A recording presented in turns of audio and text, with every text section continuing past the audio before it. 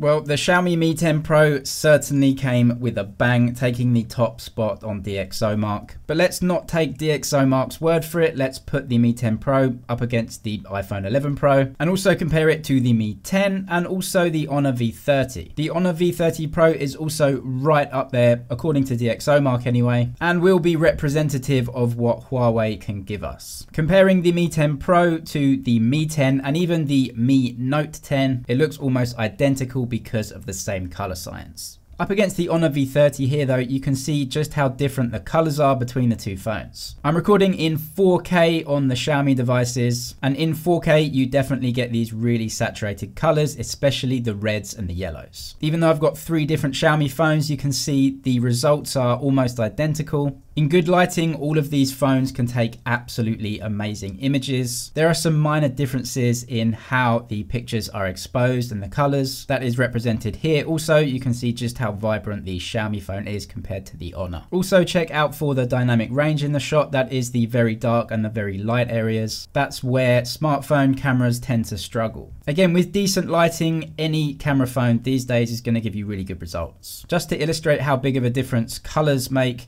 this is 1080p video on the Xiaomi Mi 10 Pro, and let's switch to 4K. You get a bump in resolution, but those colors become way more vibrant, Stabilization is still a little bit wonky on the selfie camera on the Mi 10 Pro though. It's trying to expose from my face and so the background is a little bit overblown. If you notice when my face turns away from the camera, the exposure changes. When my face turns back into the camera, the phone really brightens it up. We can also see that happening here when I turn away, the exposure changes and when it recognizes my face, it brightens the image. If we compare that to the iPhone turning around, the image stays the same the whole way through. This is obviously something that Xiaomi does intentionally when it sees a face just to brighten up the image. If you do turn away though, everything is exposed really well, so the hardware is definitely capable. It's just that Xiaomi want to brighten up the image. So you can use maybe a different camera app. Gcam is available as well if you want to download that. I'm not going to go into that, but it's something to be aware of. Dynamic range on the phone isn't an issue though. Let's just compare it side by side with the iPhone 11 Pro. Both of these phones are doing a fantastic job at brightening up the foreground here, which was way darker than it appears right now. So yeah, the HDR on this phone is really good. When it comes to zoom in video, filming in 4K gives you way more options. Because of the higher resolution, you can zoom in pretty much as far as you want. This one goes to six times and it still keeps a lot of detail. There are some nuances to the camera app for video in the Xiaomi Mi 10 Pro, but I'll get into that in more detail towards the end of the video. But zooming for video in general is pretty impressive, I must say. Zooming through the camera lenses is still a bit of an issue though. You have to pinch on the screen in video, but as I said, I'll explain that more in detail towards the end. But this is where this phone comes into its own from the ultra wide 1X 2x, 5x, and then you won't believe how crisp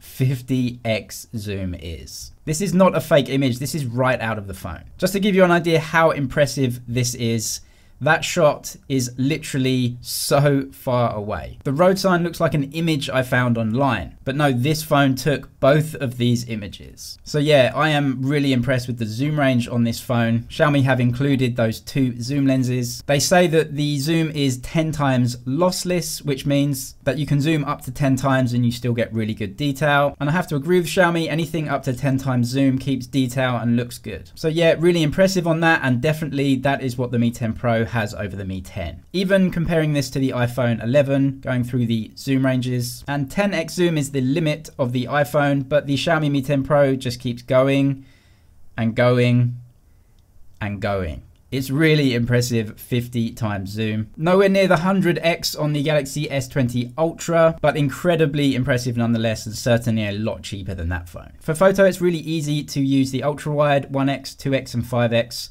through the buttons on the screen. In video, you can also choose these options, but once you start recording, you can't switch between the lenses. You can zoom in and out on that lens. You can either use the ultra wide, the main, or the 2x portrait lens to record video. But once you press record, you cannot switch between the lenses. That's definitely something to be aware of because more expensive phones let you do that. And this is what 108 megapixel mode is really useful for, zooming in and cropping into images so far, but keeping so much detail. Having 108 megapixel mode is certainly a good thing to have. And when it comes to slow-mo on the phone, actually I think slow-mo has taken a bit of a step up over previous versions. It's still 960 frames a second, but it looks like the resolution is pretty good. And I'm really pleased with how this macro shot came out. I can't believe this is off a smartphone. It looks so good. I absolutely nailed this shot. I'd put this on the wall at home. 8K video recording, however, absolutely no image stabilization, exactly the same as the Mi 10. The only way you can use this is if you put it on a tripod. I was trying to keep this shot as steady as possible, but you can see absolutely no image stabilization means it just looks so rocky. That can't be said of video on the ultra wide angle, however, the video on here looks like you're on a gimbal. It's super steady. That's thanks to the wide focal length. That's the same on most phones. A quick comparison to the iPhone, check out the dynamic range in the background in that really bright spot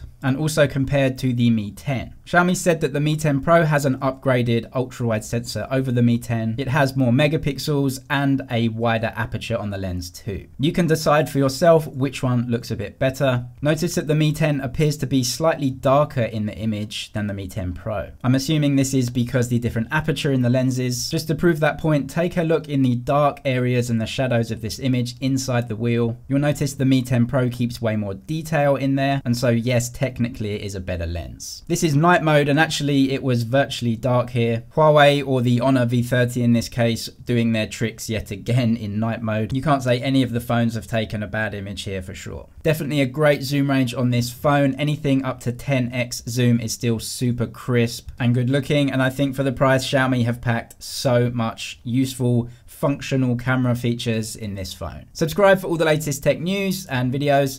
That's it for now, but I'll see you in the next one.